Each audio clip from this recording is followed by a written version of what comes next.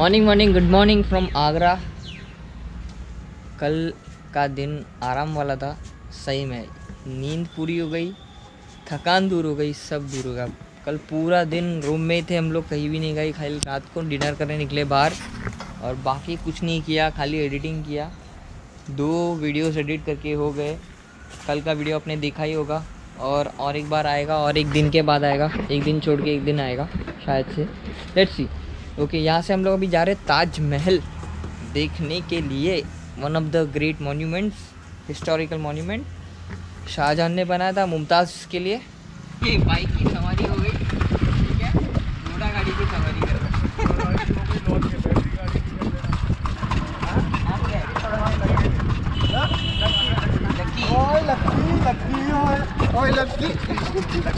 घोड़े का नाम लकी है। तो ये एंट्री गेट है ताजमहल का।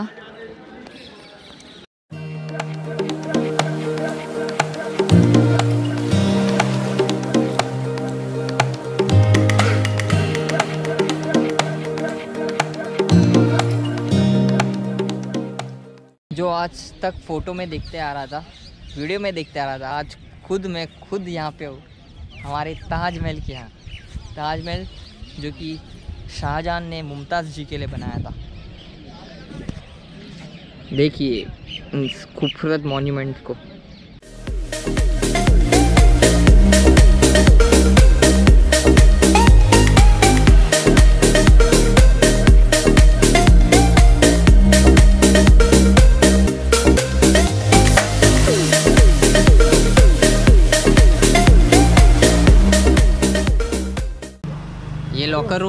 यहाँ पे हेलमेट वगैरह बैग बैग लेके जा सकते हैं अंदर? बैग? सर्च करेंगे उसके बाद अच्छा अच्छा ठीक है ठीक है तो बैग वगैरह अलाउड नहीं अगर कुछ अ, सामान है तो मत रखना इम्पोर्टेंट चीज़। वॉलेट कैरी करना और पानी का बोतल भी अलाउड नहीं है शायद से। बाकी सब लॉकर में रख सकते हो। पर इम्पोर्टेंट चीज़ कोई लाना नहीं। तो हेलो कसं काय यूट्यूबर्स मी पण from gym back to my YouTube channel Mulund कर हे मंथ पॉप्सी घर जाने का टाइम आया है। हम सब रेडी है। पार्टनर का सेटअप करना बाकी है। जो रुकने की जगह है, जो है गुना मध्य प्रदेश। यहाँ से 340 किलोमीटर्स है। तो अभी टाइम हो रहा है 10 निकलने का टाइम आया रास्ते में बात करते हैं। बहुत ज़्यादा धूप है। अगर हवा लगेगी तो थोड़ा अच्छा लगेगा। गणपति अप्पा मौर्य, मंगल मूर्ति। मौर्य, निकलते। मौर्य, चलो। ओ छत्रपति शिवाजी महाराज की। जय। लिविंग फ्रॉम आगरा और हम लोग जाएँगे आज गुना। 340 किलोमीटर्स टू गो और कल हम ये गेस्ट हाउस पे थे, विशाल गेस्ट हाउस जो कि हम लोग को पड़ा पंद्रह सौ रुपये में दो दिन के लिए। Seventy fifty rupees one day AC room था। काफ़ी अच्छा था। ठीक था मतलब अगर आप आ रहे हो तो थोड़ा आगे रहना, कि आगे भी बहुत सारे होटल्स है, क्योंकि हमको नज़दीक लेना था ताजमहल के, इसके लिए हम लोग ने यहाँ पे ले लिया, वरना हम यहाँ पे नहीं लेते। तो आगरा की गलियों से निकल के हम लोग हाईवे पे आ गए बहुत अंदर अंदर से रोड आया पूरा। गूगल मैप तो ख़तरनाक चीज़ है भाई, इसके लिए हम लोग पूछ पूछ से आए। तो फाइनली हम लोग को ये हाईवे मिला। आगे से मेरे को लगता है लेफ़्ट मारना पड़ेगा। गूगल मैप तो वही दिखा रहा है। आगे आके फिर एक टर्न आएगा तो हम फिर से पूछेंगे कि ग्वालियर जाने का रोड क्यों है? क्योंकि हमारा जो रूट है ग्वालियर होके ही फिर गुना जाएगा। यूजली जब मैं नेपाल गया था तभी ग्वालियर मुझे नहीं लगा था, पर गुना मुझे लगा था तो वो रोड थोड़ा अच्छा है जाने के लिए। तो इसके लिए मैंने प्रतीक से सजेस्ट किया कि हम आगरा में रहेंगे और ताजमहल भी देख के हो जाएगा। और हम दूसरे रूट से भी जाएँगे। तो हमारी फिर से वही प्रथा चालू करनी है। हंड्रेड किलोमीटर के बाद रुकेंगे। अभी सीधा ग्वालियर में ही रुकेंगे। फिर और हंड्रेड किलोमीटर चलाएँगे। यहाँ से ग्वालियर है something seventy seven kilometre.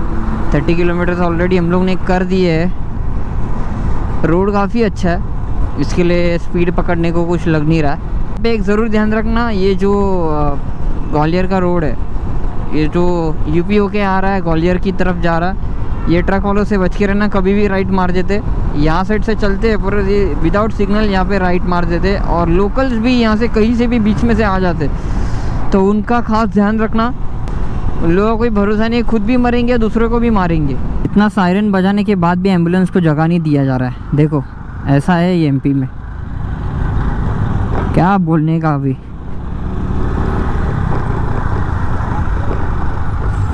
बेचारा अंदर पेशेंट ऑक्सीजन लगा के बैठा है।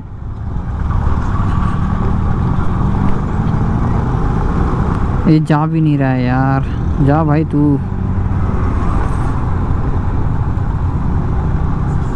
मैं 2015 में यहाँ पे एमपी टूर के लिए आया था, पूरा एमपी घुमा था। मध्य प्रदेश, पूरा स्टेट घुमा था, ग्वालियर जबलपुर भोपाल इंदौर ये सब मैं टूर के लिए आया था। डांस का टूर था मेरा। तभी की बात है। नाम थोड़े बहुत सिटीज़ के नाम मुझे पता है इसलिए। और बस इतना ही है। कभी आओ ग्वालियर भी। अच्छी जगह है घूमने जाए घूमने लायक है। मणिपुर यूनिवर्सिटी भी यहाँ पे ही है। If I am not wrong don't hold me for this but Manipur University यहाँ पे ही है जो कि बहुत फ़ेमस यूनिवर्सिटी है। तो लो जी। लो जी। जी सुनो जी मैं मन जी। तो हो गए हमारे 100 किलोमीटर। अभी नूराबाद करके एक जगह है ग्वालियर से 20 किलोमीटर पहले है।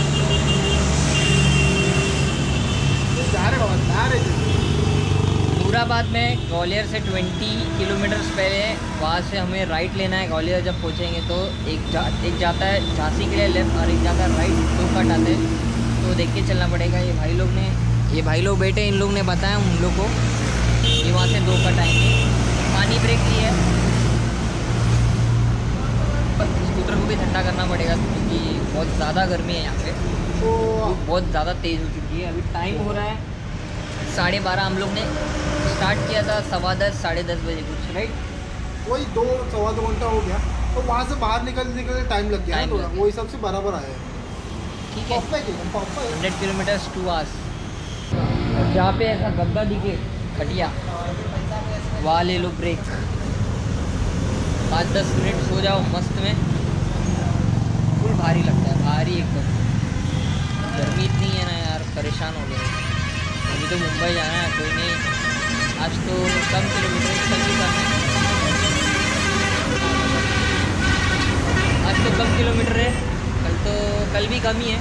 परसों ज़्यादा है, इंदौर टू मुंबई ज़्यादा किलोमीटर है फाइव हंड्रेड किलोमीटर तो यहाँ से जो भी पहला पेट्रोल पंप आएगा, हम पेट्रोल भराएँगे क्योंकि ब्लिंक होना चालू कर दिया है। तो अभी पेट्रोल भरा जा रहा है। यहाँ पे है ट्रिपल वन पर लीटर।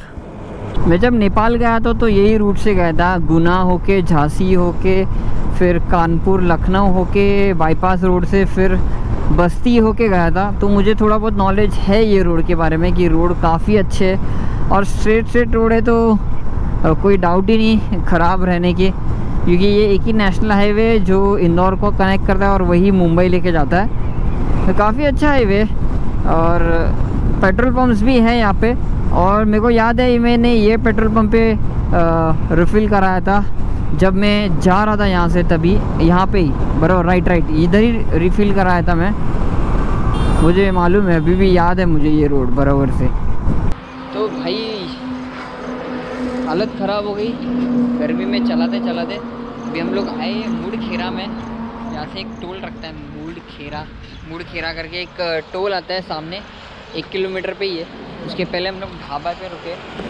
हंड्रेड किलोमीटर्स हो गए थे तो सोचा लंच किया जाए क्योंकि ज़्यादा गाड़ी चलाना गर्मी में भी डेंजर हो सकता है क्योंकि ज़्यादा गर्म होती है गाड़ी। तो हम लोग ने मंगाया है। मटर पनीर और रोटी।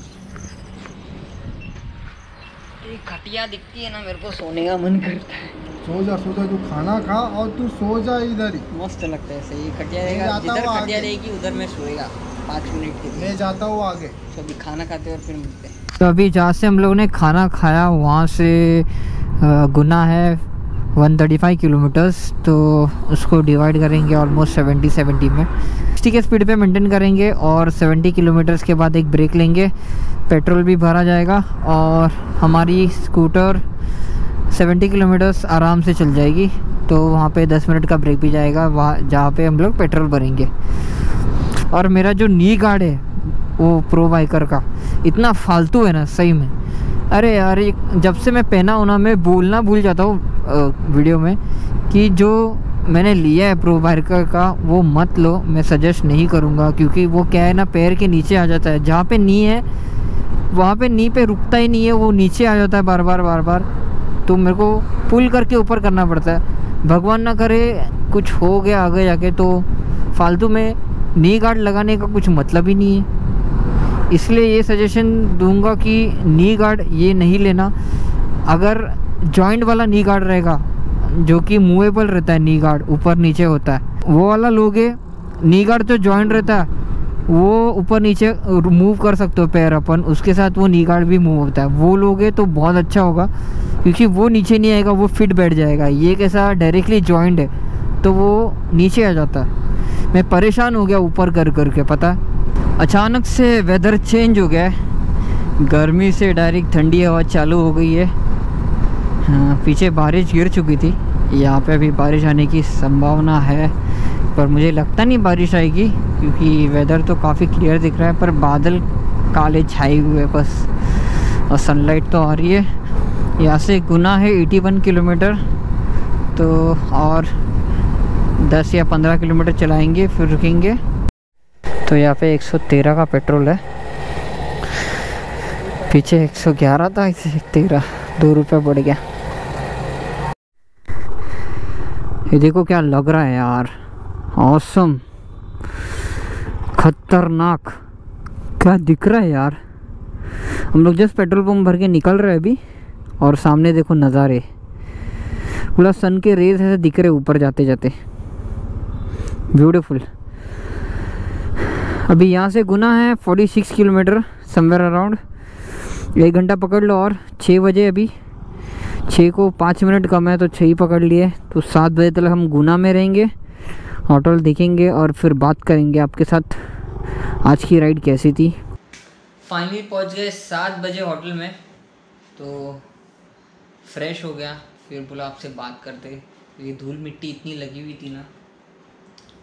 मतलब मेरे को ब्लॉग एंड करने का मन नहीं कर रहा था। और आज का राइड एकदम सोबर था स्वीट एंड सोबर साढ़े दस बजे कुछ निकले हम लोग, सात बजे कुछ पहुँचे, आराम से ब्रेक आराम से ब्रेक ले लेके आए। ठीक था। एक्साइटमेंट है घर पे जाने की तो दो दिन में हम मुंबई पहुँच जाएँगे। अगर ये वीडियो पसंद आया होगा तो please like share and subscribe करना चैनल को। उनका प्लान पता नहीं क्या है, कहाँ रुकने का, पर अगले वीडियो में पता चल जाएगा आपको। तो तब तक के लिए till then do what you love and love what you do